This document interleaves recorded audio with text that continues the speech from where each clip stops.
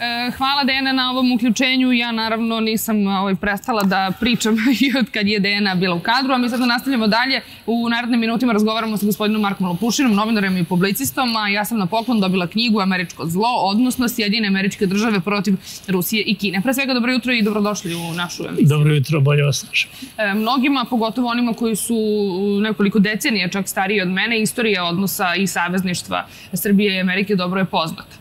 E, ukoliko biste to tako e, nazvali. E, sa druge strane, pominje se to da je nemoguće da jedna sila ima nameru da uništi ili da povredi onu manju, jer toliko sredstava u nju ulože, pa to im je kao neisplativo. Međutim, istorija nam govori potpuno drugačije stvari. Pa evo, poslednji rad 90. godina u kojoj Sjedinje američke države na Balkan tako što su Amerikanci shvatili da Nemačka ima pretenzije da osvoji Balkan i da se spoji sa Turskom. I onda su Amerikanci ušli u čitav politički proces razbijanja Jugoslavije da bi oni zauzeli i preoteli to dominantno mesto Nemačke e, na prostoru bivše Jugoslavije. Jer e, Nemačka želja je da oni jednostavno imaju direktan ulaz u Tursku, jer Turska je najveći privredni Savjetnik i partner e, Nemačkoj i Turska je izvor jeftine radne snage i izvor sirovina za nemačku industriju. I Amerikanci su želeli to da spreče, jer da je Nemačka sa Turcima napravila politički savez, ona bi postala vele sila. Mhm. Obe zemlje bi dobile atomsko naoružanje i onda bi Amerikanci imali problem. I onda su Amerikanci uleteli i da bi presekli nadiranje Nemaca, oni su odlučili da žrtvuju Srbe i da Srbi budu ti generalni krivci, a ne Nemci, za agresiju na prostoru Jugoslavije. I Srbi u Bosni su bombardovali, onda su bombardovani Srbi u, u Srbiji i Crnoj Gori i i to je izvedeno na nelegitiman način i jednostavno Amerikanci su nastavili svoju politiku dominacije da vode ratove po stranim zemljama i da ubijaju ljude. I to se prema mišljenjima mnogih nastavilo i, i dan danas. E, ko je navukao gnev Sjedinih država na Jugoslaviju, a potom i na Srbiju? I na koji način smo uspeli da ipak dobijemo taj neki pobednički zaokret prema, prema našoj politici? Pa, da pojasnim, američki narod vrlo malo zna o Srbima, a ono što zna poštuje, poštuje Srbe i ovde ne govorimo o američkom narodu. Ne, ne, On ne širi američko zlo prema srpskom narodu i prema Srbiji. Širi ga zvanični Vašington, politički vrh Sjedinjenih američkih država, da, njihovi servisi obaveštene službe, oni sprovode u ovom trenutku neobjavljeni rat prema Srbiji, politički propagandni, a miriše i na političke pretnje, pritiske, odnosno na eventualnu upotrebu vojne sile. Zašto? Zato što Amerikancima smeta uticaj Rusije na prostoru bivše Jugoslavije i oni optužuju Srbiju da je ona glavna tačka na kojoj se Rusija oslanja na balkanskom prostoru i onda žele da e, svoju dominaciju plasiraju tako ako ih čitava Evropska unija sluša, onda mora da ih sluša i Srbija, a mi baš nismo slušali redovno. Da. Naši odnosi su počeli da se komplikuju onog trenutka kada je Josip Broz Tito prodao Amerikancima lažni kosmički program da oni idu gore sa raketama, da prestignu Ruse u osvajanju kosmosa i e, Tito mi je uzao milijarde za taj program i onda su oni krenuli da mu se svete na fin način.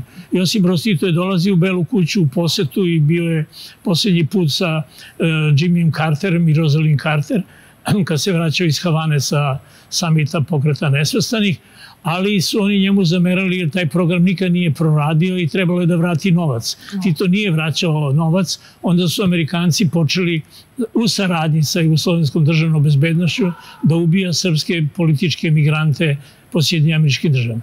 FBI je direktno umešan u ubistvo Dragiše Kašikovića i devetogodišnje devojčice njegove pastorke koji su izbodeni na stotinu udaraca nožem ili makazom. I dan danas Srbija iskriva taj dosije i nikada nije otkriveno zašto je Dragiša Kašiković, urednik lista Sloboda i jedan od političkih vođa srpske migracije u Americi i Kanadi E, likvidirana na tako surov način. Devojčica je ubijena verovatno zbog toga što je prepoznala nekog od ubica, jer je to verovatno bio Srbin koji je dolazio u njihovu kuću i koga je ona znala jer je nju privukla buka u prizemlju, ona je sa ispavaće sobe sa sprata sišla dole i nedužna je ubijena.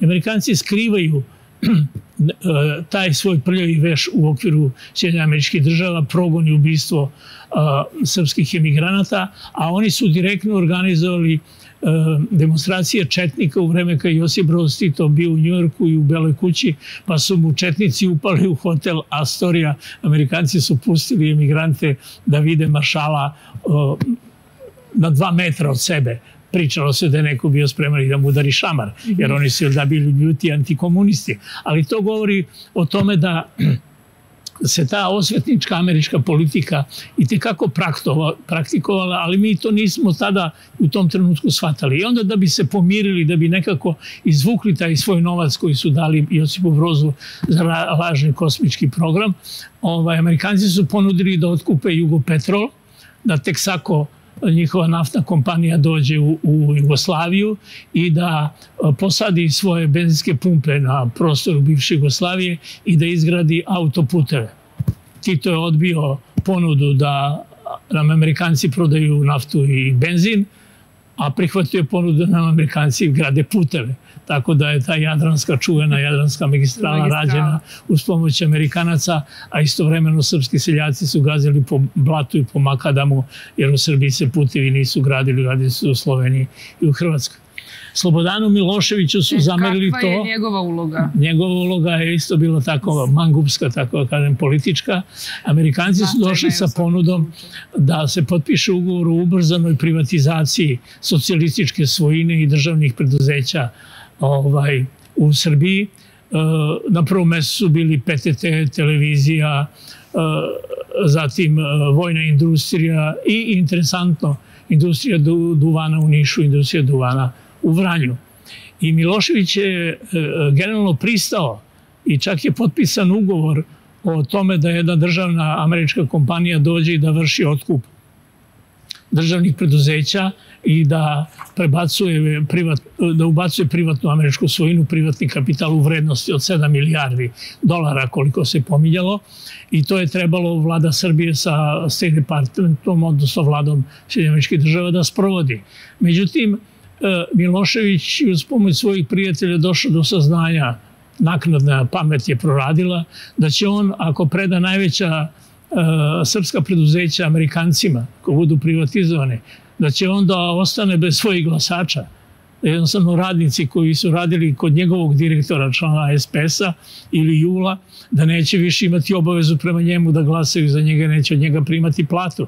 Tako da će on na sledećim izborima najvjerojatnije da izgubi vlast. I onda se Milošević predomisli i odustao je da realizuje te dogovore i sporazume sa Amerikancima o ubrzanoj tranziciji e, Srbije, e, jer mi smo u tom trenutku, početkom 90-ih, kao bivša Jugoslavija i kao Srbija i Crna Gora bili e, mnogo bliži zapadu nego istiku. I Amerikanci koji su računali da razbiju Vašavski ugovor i Vašavski pakt i da od gore od Severnog mora do Grčke naprave jedno veliko tržište za svoje robe, što danas vidimo da su i učinili, ovaj, da razbiju taj komunistički blok i oni su ga i razbili tako što su Papa i Regan odlazili u Poljsku i posle u Moskvu i što je Regan postao ovaj, veliki prijatelj sa Gorbačovim i Gorbačov je preveo na miran način Sovjetski savez u kapitalističko proameričko društvo. Kod nas je to išlo mnogo teže, mi smo se na Balkanu zakrvili i, zaratili i počeli da se ubijamo zbog toga, a Milošević je e, obmanuo zvanični Vašiton i Vašiton se osvetio tako što ga je proglasio balkanskim kasapinom, tvorcem genocida, što ga je odveo u Hag, gde je Slobodan Milošević umro, odnosno ubijanje pod tim američkim pritiskom, presijom svih vrsta koje je tamo imao kao zatočenik i to je srpski narod stradao, iako su uh, vaštinonski zvaničnici tvrdili da oni vode borbu protiv Slobodana Miloševića, što i sada ponavljaju da vode borbu protiv predsednika, ali ne protiv srpskog naroda, a bombardovali su ovaj srpski narod i, i srpski narod je teško stradao i u Bosni i Hercegovini i u Srbiji i u Crnoj Gori pod američkom NATO ovaj, kampanjom milosrdni anđeli, kako su već to nazivali. Oni su toliko bili milosrdni da su nas ubili i da su nam ostavili uh, uran na našem zemljištu koji i dalje ubija naš narod preko kancera i drugih obolenja ali kažu da je politika, barem ona koja je na površini i koja je vidljiva, koju možemo čuti iz usta različitih zvaničnika, sada potpuno drugačija. Da li oni smatraju da su nam se osvetili za sve te prevare koje su naši predsednici njima načinili i da li je uopšte moguće da se ti odnosi e, ikada e, poravnaju? Pa ti odnosi su o, e, vrlo, kako da kažem, manipulativni. Da se prosto izrazim, oni su prepodne dobri, uveče su malo loši, a noće su najgori. Hoću da kažem da sad Amerikanci suočeni sa propašću svoje avanture napada na Rusiju preko Ukrajine, da imaju jako veliku štetu u samim Sjedinjeničkim državama, pre svega ekonomsku krizu, osiromašenje naroda, pobuna masa protiv tolikih e, milijardijskih izdavanja e, za Ukrajinu i naročito za njegovog predsednika. I očigledno je da je Joe Biden američki predsjednik odlučio da zbog kampanje izborne u narodnoj godini e, što manje sad posluje sa Ukrajinom, odnosno da što manje vrši oružani pritisak na, na Rusiju. I četvrta stavka je to što sankcije e, zapadnih zemalja, Sjedinjamičkih država i Evropske unije protiv Rusije uopšte nisu uspele. Nisu delotvorne. Zato što je Turska bila ovaj most preko kod, kog je roba ulazila i izlazila za Evropu, što Evropa nije mogla bez ruskog gasa, što su Kina, Indija i druge azijske zemlje i zemlje BRICS-a, dakle Brazil i zemlje iz Južne Amerike, razvile svoju trgovinsku saradnju sa Rusijom i što mi kao deo zapadne hemisfere zaboravljamo činjenicu da je samo 45 država na svetu uvelo sankcije Rusiji, a da imamo 150 država koje nisu uvele. Da. uvele. Ali... I sada se dešava to da Zapad na jednoj strani traži recept za mir. Kako da se sad pomire Ukrajina i Rusija, a da ne bude to na štetu i sramotu Vašingtona, To je jedna stvar, a druga stvar, pošto Evropa osjeća prve veće tragove krize zbog loše saradnje sa Rusijom, jer je Rusija bila, na primjer, tržište za stotini hiljada automobila nemačkih od Audija, Porschea preko Mercedesa, mislim, i da su tu Nemci izgubili silne milijarde. Sada se pokušava da Srbija, pored Turske bude taj nevidljivi most preko kog će uh, trgovinska ra razmena Evropske unije i Rusije tajno da se sprovodi. U ovom trenutku mi smo potrebni Americi da im se taj plan ostvari, jedan plan da dođe do mira na način kako je Carter uh, sa Radovnom Karadžićem u Bosni 1994. godine i sa Alijom Izetbegovićem stvorio mir koji trajao četiri meseca, mm -hmm. gde su spašeni životi uh, Bošnjaka i Srba, gde je zaustavljeno ubijanje civila i nedužnog naroda. I oni pokušavaju taj recept da, da primene i pokušavaju da Beograd pretvore kao stanicu za ulazak u, u Moskvu. To je bilo i ranijih godina pravilo, diplomatsko. Američke diplomate su dolazili u Zagreb i u Beograd, u Zagrebu da budu konzuli, u Beogradu da budu ambasadori, u bivšoj Jugoslaviji, da tu nauče e, da razmišljaju na slovenski način, pa da posle iz Zagreba i Beograda idu da nastave diplomatsku karijeru u Moskvi, u Rusiji. Sada se taj recept ponavlja, oni pokušavaju da u Beogradu stvore ljude e, koji će da idu u Moskvu i da sa jednim pomirljivim tonom pokušavaju da sklope mir sa zvaničnim državnim neprijateljem kog su optužili za genocid, primenili sve one recepte iz propagandnog rata koji je rođen, vođen protiv Srbije i sada oni pokušavaju da naprave kakav takav kontakt da bi Biden 2024. imao mirnu situaciju kod kuće da bi pobedio na izborima. Ovako se njemu sve apsolutno ljulja. I otuda izjava američkog ambasadora ovde da će oni učiniti sve da Srbija uđe u Evropsku uniju. Sad najedare do juče pretnja, nećete nikada ući ako se ne odreknete Rusiji, uvešćemo vam sankcije, uvešćemo vam vize i sve raznoraze druge pretnje. Do sad, jel da, to bi nazvao Kolačić, jer odnosi Vašingtona prema Beogradu su u stilu korbača i kolača. Sada mi dobijemo na tacni kolač, ajmo mi da uzmemo taj kolač da uđemo u tu Evropsku uniju, iako su mi deo Evrope, samo nismo deo tog političkog klana. Tog političkog klana, da. Da, dobro. Hvala vam najljepše što ste bili gost našeg programa. Jedva čekam da pročitam ovu knjigu e, uz neki čaj i svakako toplo ćebe. Napolju je izuzetno hladno, e, a ja vam svima preporučujem da sebi nabavite primjerak knjige e, američkog zla, odnosa Sjedinjenih država prema Srbiji i Rusiji.